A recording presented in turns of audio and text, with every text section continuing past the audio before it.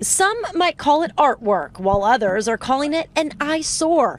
Singer performer Chris Brown has upset many neighbors over what they're calling monster graffiti at his Hollywood Hills home. Dozens of neighbors are outraged over what they claim is his latest attempt to upset his neighbors. Negri says since Brown moved into the stunning four story Hollywood Hills home, he throws loud parties, speeds through the neighborhood, and now paints a mural on his walls.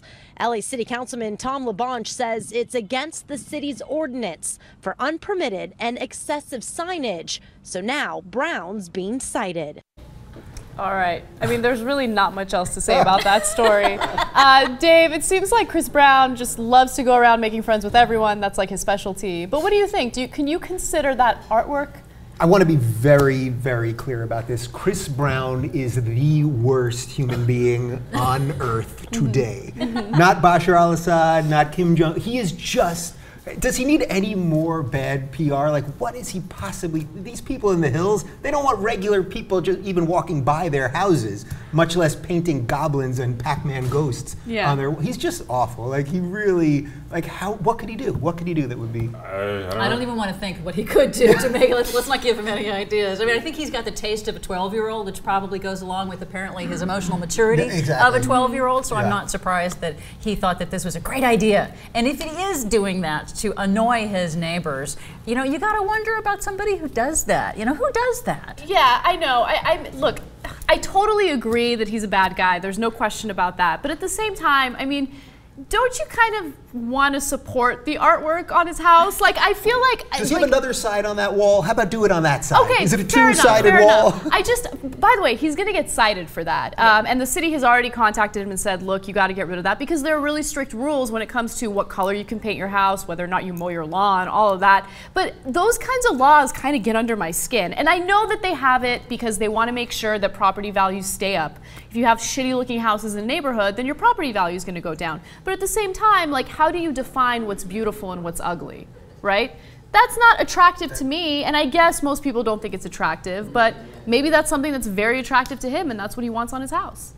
Well, I think that's why they have the city ordinance because yeah. then it's not supposed to be reliant upon any one person's definition of art. You can say, look, we're just not yeah. going to have murals in the city. No murals on private property. That is the ordinance in Los Angeles, and there it, it's partly to to prevent uh, tagging. You know, because there's yeah. a big problem with graffiti in LA, and it's not costs a lot Hollywood of money. Hills, though. Not in Hollywood Hills, but you know, I can see what you know they're they're trying to make it so that everybody gets the same gets applied gets the law applied to them in the same way. So I can understand that as well. You know, if it's, I think they're going a little bit overboard. Obviously, you know, this is not the worst thing in the world. Yeah. So, Max, uh, do you think that this is an example of celebrity entitlement?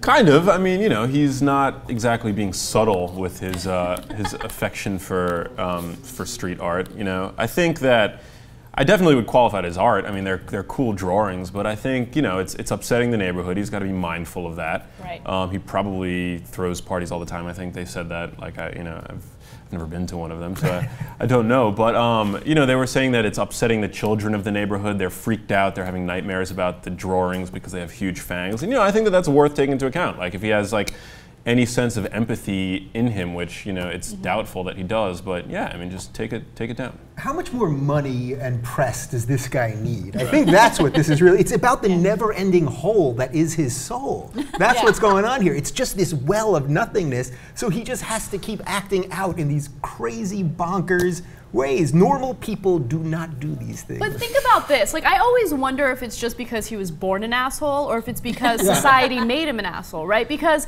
he did something horrendous, okay? He beat up Rihanna. I mean, I remember those pictures like I saw them yesterday, right? With the bumps on her head. It was horrible, right? But he didn't really suffer any real consequences for it. I mean, she went back to him. Um, there were people defending what he did. They're like, well, Rihanna was a bitch, so that's why. It, I mean, it was incredible. When yeah. that story played out the way it did, I couldn't believe it. And at the same time, I'm sure he's in his own little celebrity bubble where he's told he's talented. He makes a ton of money. He has songs where he's like making fun of people who are crying from outside of the club because they can't even get in. Like that's like that's that's his that's his whole thing. He's constantly being rewarded. So can you blame him for acting out the way that he is? He does get a lot of attention for he it. He does. He's making paper. You know? Okay, I'm, I'm, I'm uh-huh. referencing That lyrics. means money, I think. I'm referencing, I'm referencing lyrics, and everyone's like, "What is she talking what? about?" I just think he's an idiot. You know, he could have all the money in the world, but you can't buy class. Yes, I love that. Um, Yeah. There was a Real Housewife of New York who had a song called "Money Can't Buy You Class," and I just Really? remember that. Yeah, Wow. money can't buy you class. and it is so true. And there's nothing classier than a real housewife, so you know. totally, totally. you know, it's an important learning moment for everybody. Absolutely. Now, just to be 100% clear before we leave this topic, I am playing devil's advocate uh, with this story. I think he is horrible and he should respect his neighbors. You're living in this area. Uh, people are expecting peace and quiet. You know, keep it down with the parties. But I'm willing to defend him a little bit when it comes to artwork.